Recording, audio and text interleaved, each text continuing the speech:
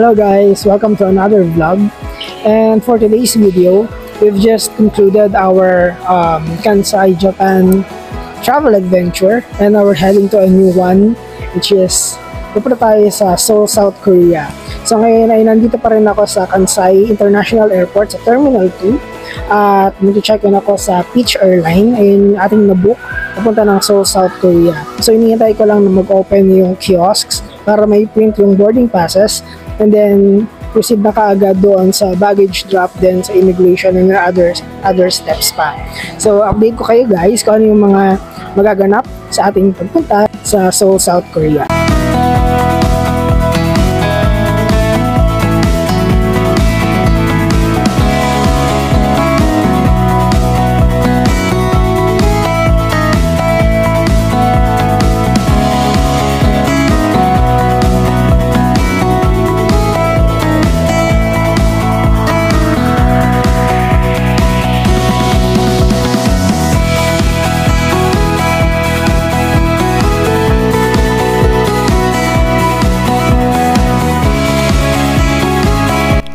Hello guys, welcome to Seoul, South Korea.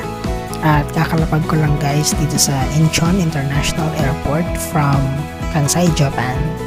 At kakatapos ko lang guys dumaan sa immigration sa customs check at kakakuha ko lang nitong luggage ko sa baggage reclaim area.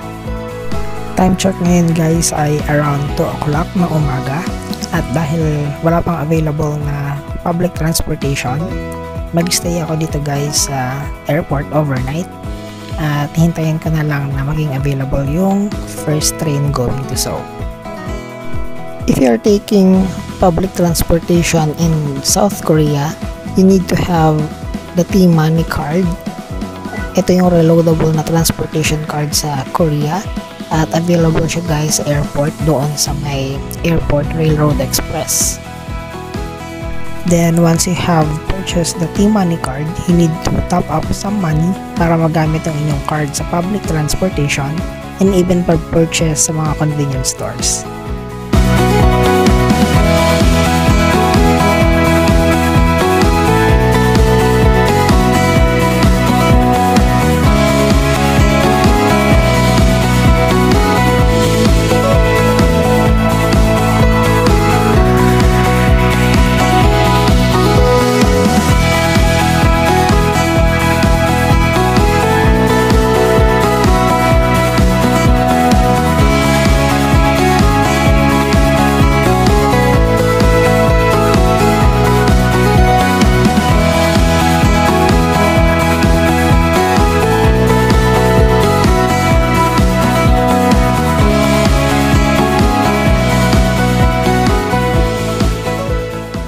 Gusto ko lang na i-share kung ano ba yung updated na requirements papunta dito sa Seoul, South Korea.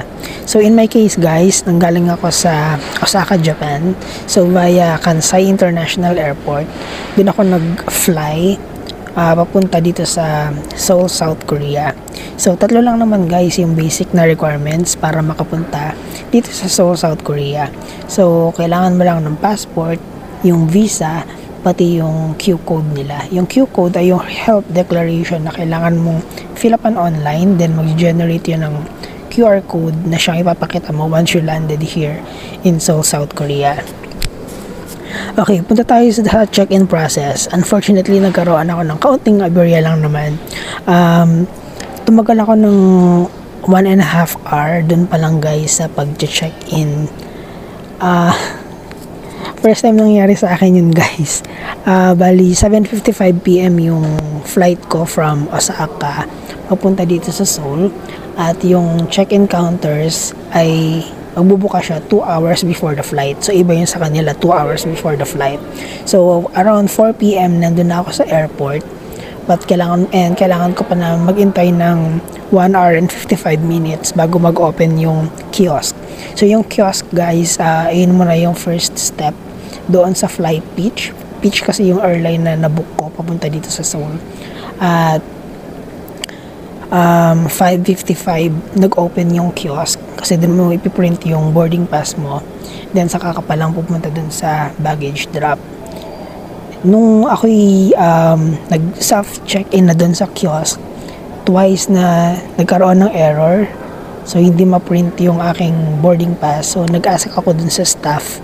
Sabi ko, ah, nag-error error yung lumalabas. So, sabi niya na dumiretso na lang ako dun sa check-in counter sa baggage drop at dun na lang ako, dun na lang aasikasuhin yung yung proseso. So, ayun na nga guys, pumunta na ako dun diretso sa check-in counters. So, um, more than 100 passengers yung mga nasa likod ko pa. Um, inabot ko yung ah, inabot ko yung passport ko pati yung old passport kung saan nandun yung multiple entry visa ko for South Korea. Then paulit-ulit na chine-check guys nung nung staff. Paulit-ulit niyang tinitingnan yung passport ko pati yung old passport na nandun yung visa. Parang kino-compare niya yung details. Pati yung um, yung visa ko guys. Paulit-ulit niyang tinitingnan. Kino-confirm niya pa nga sa akin kung tama ba yung ano, tama ba yung expiration date na nababasa niya. Aki kasi 2025 pa kasi mag-expire yung multiple entry visa ko to ah, to Korea. Tapos ayun, nag encode siya sa system. Sabi niya na hindi daw hindi daw niya may print yung ah, boarding pass ko kasi ah, nasa old passport yung visa ko. Medyo natataranta din yung staff kaya nagtawag pa siya ng ilang staff para tumulong dun sa sa pagpa-process. Then meron pa nga na tumatawag sa um, Korean Embassy para sa approval. Um, yung staff ay sabi niya na they will create um, a manual tawag dito, manual boarding pass kasi nga hindi nila may print via din sa system.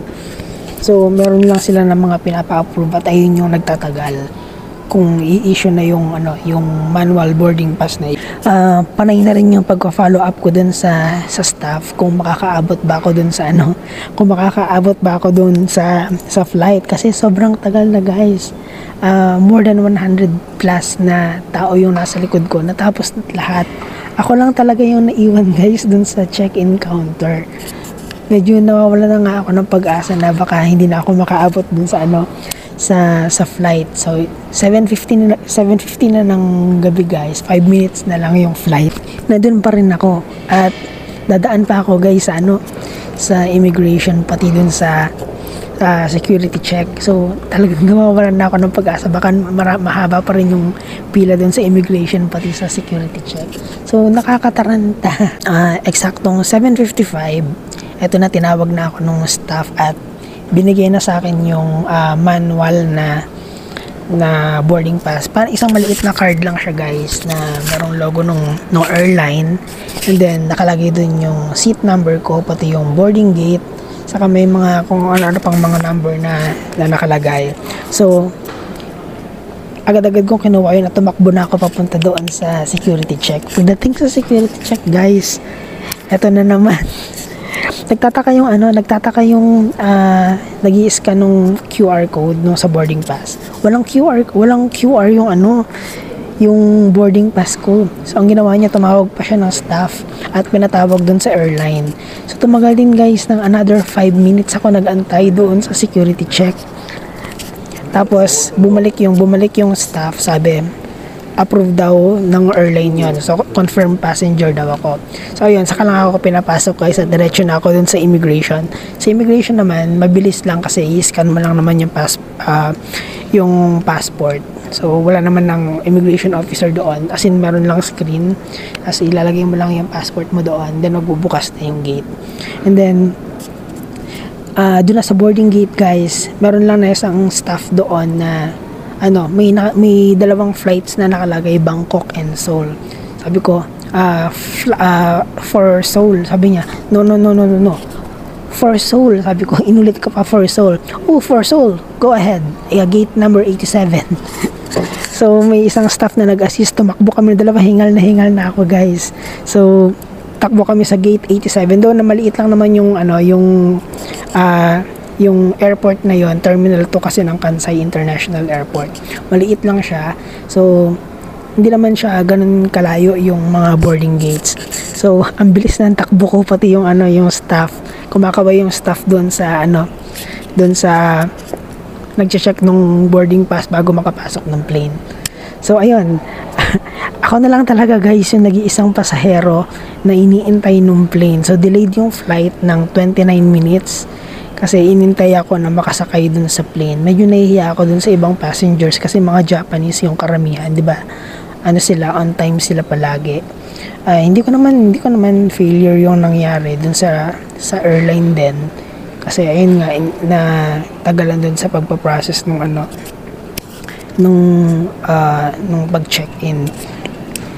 Pero ayun nga guys, pagdating na pagkaupo pagkaupo ko dun sa plane guys, sabay sinarado na guys yung yung door nung ano nung plane at ayun na nag ano na nag-demo na nung um, safety precautions sa flight. So ayun guys, yung naging experience ko doon sa pag-check-in ko sa Peach, sa Peach Airlines sa Kansai International Airport. Pagdating naman dito guys sa ano sa Seoul, South Korea, um, medyo natagalan lang din ng kaunti yung sa pag-check sa akin. Kasi dalawang passport nga yung inabot ko yung old na nandun yung visa pati yung new passport ko. So ang nangyari ah chinecheck nilang mabuti yung mga details. Tapos may nagtanong pa nga yung ano yung immigration officer na nakaharap ko. Tinanong pa niya yung ah, katabing ano katabing immigration officer para may tinanong sila may confirm tapos, ah, hiningi guys yung ano ko, yung yung ticket ko from Kansai International Airport, yung sa Fly Peach. Tapos yung ticket ko din from dito sa Seoul, pabalik ng Manila. So pinakita ko lang naman, nasa phone ko lang naman yun. And then, ayun na, pinrint na yung sticker at dinikit dun sa passport ko. Ah, first time nangyari sa akin guys yung ganung mga cases. Siguro dahil nga na ah, magkaiba yung passport ko, yung yung visa ko ay nasa old passport which is mas matagal kasi yung pag inspect nila ng mga detalye. Kaya ganun yung ganun naging katagal yung proseso naging mabusisi sila. So yun guys yung naging experience ko doon sa check-in sa Kansai International Airport at sa immigration dito sa Seoul International Airport